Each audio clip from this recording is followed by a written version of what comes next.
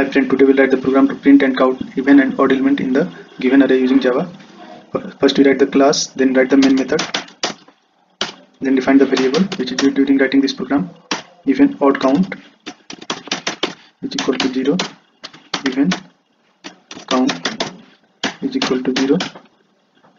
Then write the list of array int a is equal to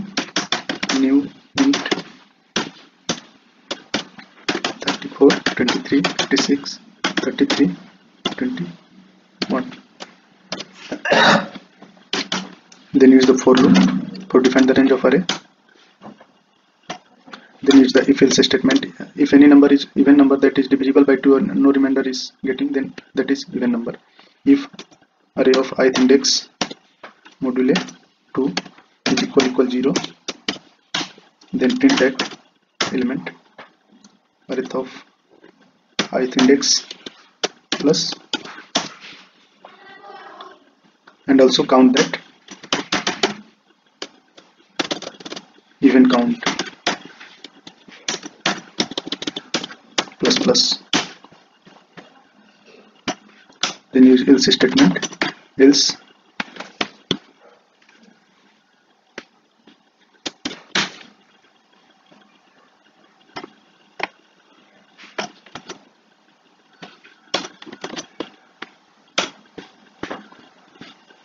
print the odd element array of index plus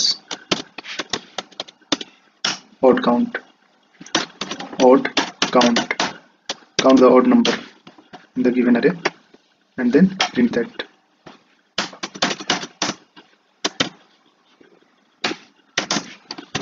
Total number of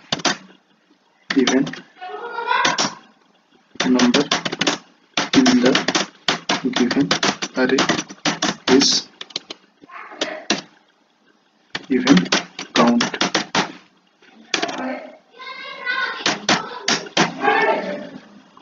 Then odd count.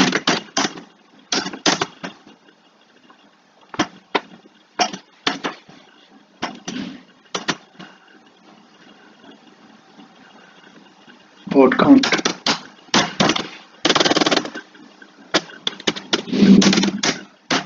save the program and run the program. Total number of even in the given array is 2 and odd number in given array is 3 and also print that element. That's it